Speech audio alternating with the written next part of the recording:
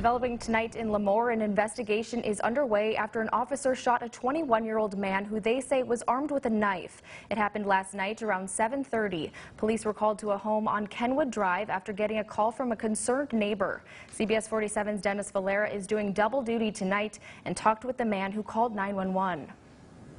Hearing, you know, a bunch of screaming and yelling and obscenities, glass breaking, stuff banging in the garage. Um, decided to stay out here for a little bit, and once the uh, screen door kind of flew off its hinges is when I decided to call the police. Zachary Madden saw everything from his front yard. I asked him to sum up what happened in one word.